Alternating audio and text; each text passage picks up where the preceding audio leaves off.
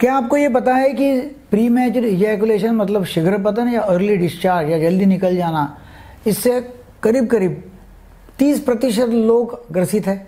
30 percent पुरुषों को ये प्रॉब्लम है। क्या आपको ये पता है कि शीघ्र पतन की वजह से शादियाँ टूट जाती है?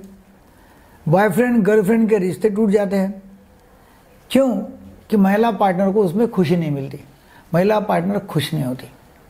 लोग पूछते हैं कि भाई प्री मैच रिजैकुलेशन मतलब क्या होता है?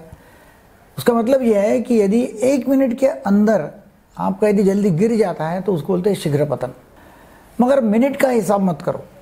दोनों को पति पत्नी को समाधान मिलते तक संभोग चालू रहना चाहिए। उसके पहले यदि संभोग खत्म हो गया मतलब डिस्चार्ज हो गया, और समाधान नहीं हुआ तो उसको बोलते हैं प्री मैच्योर इजैकुलेशन मतलब दोनों का समाधान होना ज़रूरी है, फिर टाइम कितना भी लगो। और आईसीडी के अनुसार एक मिनट के अंदर, एक मिनट के पहले निकल गया तो बोलते हैं शीघ्र पतन। शीघ्र पतन के कारण क्या होते हैं? मतलब आपने देखना चाहिए कि भाई एंग्जाइटी जो है एंग्जाइटी बहुत घबराहट और चिंता। बहुत बार ऐसा होता है कि फ़र्स्ट टाइम सेक्स कर रहे कभी सेक्स हुआ ही नहीं तो उस समय जल्दी निकल जाता है। बहुत ज़्यादा गैप है, लंबा गैप है तो जल्दी निकल जाता है। नॉर्मल है।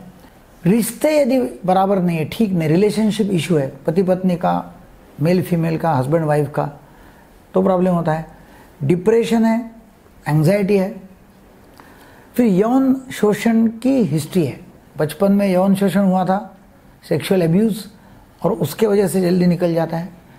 डायबिटीज़ मलाइटस मतलब शुगर की बीमारी थायराइड कोई इन्फेक्शन प्रोस्टेडाइटिस ये काफ़ी सारे कॉजेस है, कारण है कि जिसकी वजह से प्री मैचर इजैकुलेशन होता है। लोग पूछते हैं क्या हस्तमैथुन से होता है क्या? बिल्कुल नहीं। हस्तमैथुन से कोई प्री मैचर इजैकुलेशन होता नहीं है।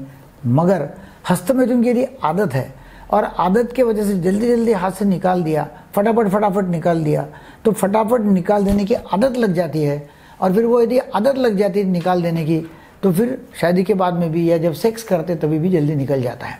शराब से शराब से क्या होता है कि इच्छा बहुत बढ़ जाती है। शराब से मतलब अल्कोहल इंडेक्स से नाइट्रिक ऑक्साइड लेवल बढ़ जाती है, इच्छा बहुत बढ़ जाती है, मगर परफॉर्म नहीं कर पाते। ऐसा बढ़ जाता है कि alcohol increases the desire but takes away the performance शराब से इच्छा होती है, कुछ लोग कर भी सकते हैं, मगर कुछ समय के बाद में शराब की जो क्वांटिटी है, वो बढ़ जाती है और शराब के आदि बन जाते हैं। तो शराब से चिंता घबराहट निकल जाती है और अच्छा परफॉर्म कर सकते हैं, मगर ये रिकमेंडेड नहीं है। फिर नेक्स्ट लोग पूछते हैं कि भाई फर्टिलिटी इशू हो सकता है क्या? मतलब बच्चे नहीं होते तो फिर क्या शिगर पतन ये कारण है? बिल्कुल नहीं। शिगर पतन का और बच्चे नहीं होने का कुछ संबंध है नहीं। एक बूंद भी अंदर गया वीर्य का, और वो एक बूंद में बहुत सारे स्पर्म्स यदि है मतलब 20 मिलियन कम से कम स्पर्म्स एक एम में होना चाहिए, और वो यदि उतने हैं तो फिर बच्चा होने में कोई बाधाएँ आती नहीं है। नेक्स्ट सवाल आता है कि भाई, क्या जल्दी निकल जाने से शारीरिक कमज़ोरी आती है क्या? बिल्कुल नहीं। शारीरिक कमज़ोरी का और शिखर पतन का कोई संबंध है नहीं। शारीरिक कमज़ोरी से लैंगिक कठोरता नहीं आती है, ऐसा भी कुछ नहीं। शारीरिक कमज़ोरी, लैंगिक कठोरता कुछ नहीं है, कोई संबंध नहीं है। मगर शारीरिक कमज़ोरी से दिमाग ठीक नहीं रहता है, दिमाग डाउन है, नर्वसनेस आया हुआ है तो फिर इरेक्शन नहीं आएगा। तो बहुत सारे ऐसे कारण है। प्री मैच इजैकुलेशन जो है जो दोनों का समाधान नहीं देता, आनंद नहीं देता। इसके लिए मेडिसिन जो है एस एस आर ग्रुप के ड्रग्स साइट्रालिन फ्लॉक्सीटिन एसिटालोपराम ये आप ले सकते हैं पेरोक्सीटिन ये ले सकते हैं। डेपोक्सीटिन भी अच्छा काम करता है ट्राईसाइक्लिक एंटी डिप्रेशन भी ले सकते हैं, और नम करने वाली दवाइयाँ मतलब स्प्रे ऑइंटमेंट मलम ऑयल ये लगा सकते हैं, जिससे लिंग नम हो जाता है।